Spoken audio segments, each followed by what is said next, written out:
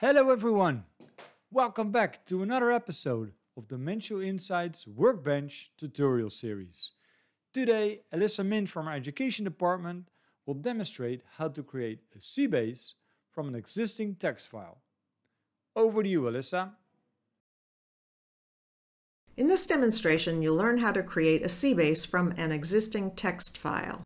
When you convert a text file into a CBase and then open the CBase in ProDiver, the columns that had text in them are identified as dimensions, while the columns that had numbers in them become summary columns.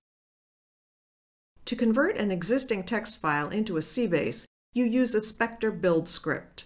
A Spectre build script is a configuration file that specifies the location of the text file, the way that data is to be processed, and the location for the output, the CBase file. To create a CBase, you identify the text file you want to use as the source file, generate a Spectre build script for the file, make any adjustments you'd like to make to the build script, run the script, and examine the output in ProDiver. In this demo, we'll take a text file that includes just a few columns of data, but many rows, and convert the file into a CBase so you can see how Spectre handles the conversion and how you can guide that conversion. The project we'll be working in is called Healthcare Analytics. The source file we'll be working with is in the data directory of that project and is called Encounters Out 2019. Let's start by taking a quick look at the contents of Encounters Out 2019 to confirm that we're working with the correct file. To do this, we'll right-click the file name in Workbench Explorer and choose Open with Table Editor.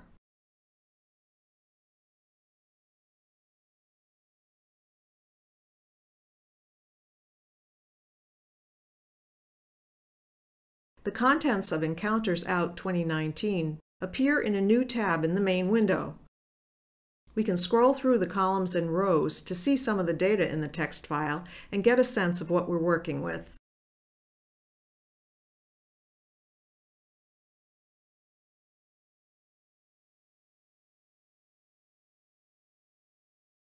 Let's leave this tab open and generate the Spectre build script.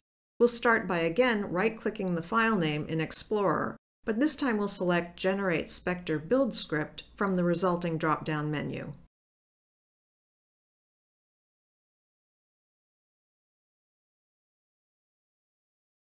The Save File dialog box appears on the screen, allowing us to specify both a name for the build script we're about to create and the directory in which to save the script. We'll accept the defaults for both the directory, forward slash programs and the file name encountersout2019.build.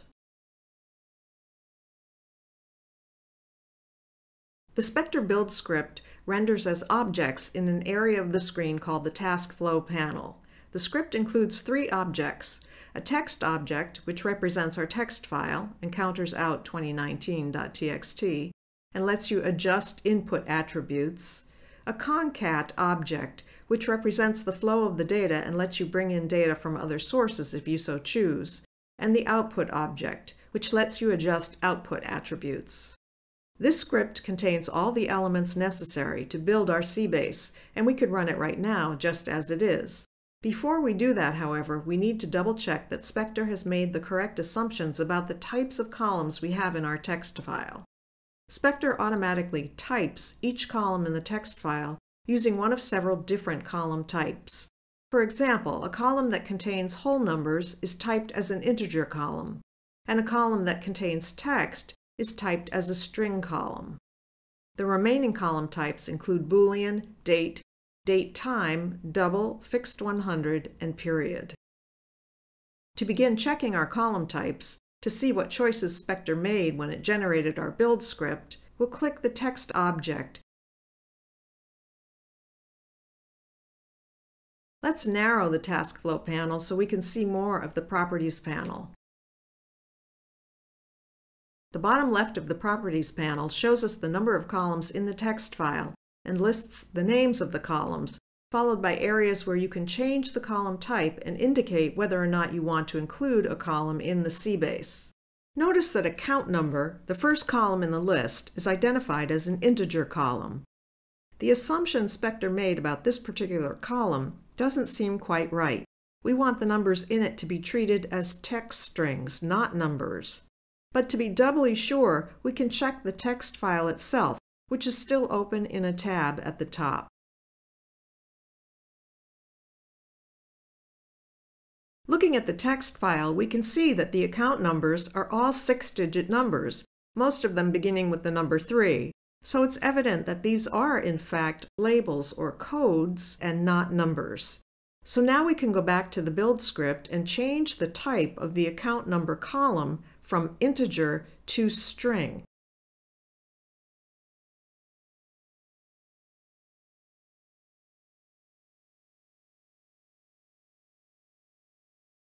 The next column, patient name, was correctly identified as a string column, so we'll leave it as is and look at the admit date column next.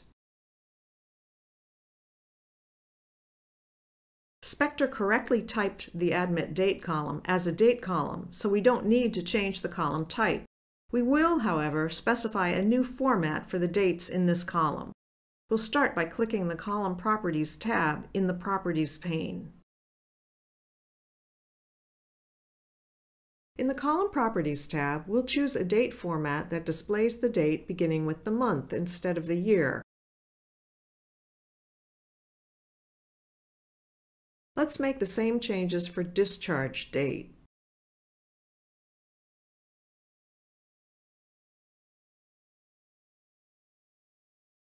Moving on to the total charges column, we see that Spectre typed it as a fixed 100 column. This column type displays numbers with up to two decimal places, making it ideal for currency values. Now let's take a quick look at the output object. The output object lets you specify the folder in which you want the final CBase to appear. By default, the build script designates the CBases folder as the output folder, which is what we want, so we'll leave the output folder setting as it is. Now we can save the changes we've made to the build script. Now that our changes are saved, we can run the script using the Run icon on the toolbar.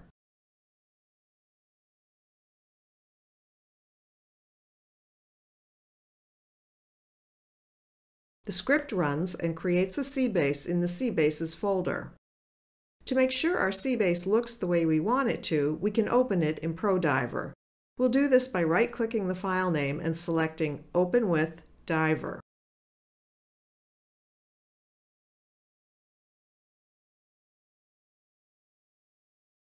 Notice that all the columns that were typed as either string or date columns appear as dimensions in the ProDiver console. Let's dive on Admit Date to see how the rest of our data looks in ProDiver. Notice that the dates in the Admit Date column now display the month first, as we specified in the Spectre build script. Notice also that the text file column that was typed as a fixed 100 column, total charges, appears as a summary in the dive window, one of these columns shouldn't actually be here though. The attending provider code column contains numbers, but the numbers are simply codes that identify attending physicians.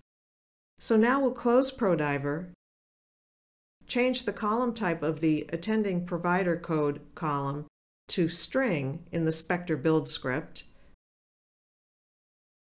save our changes, rerun the script,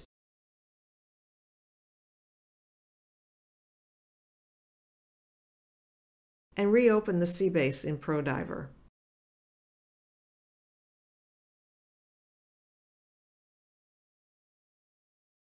Notice that attending provider code now appears as a dimension name in the ProDiver console.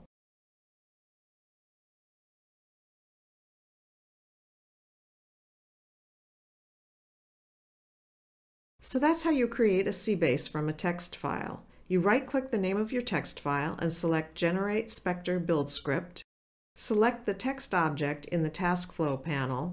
Inspect the column type assignments in the Properties panel and make any necessary changes. Save the build script by selecting File Save. Click the Run icon and open the resulting CBase in ProDiver to make sure your CBase is as you want it to be. Thanks Alyssa. Well, that's all we have for today. If this video was helpful, let us know by giving us a like. And we would really like to hear if there's a subject you would like us to do an episode on. Let us know in the comments. Take care, see you next time.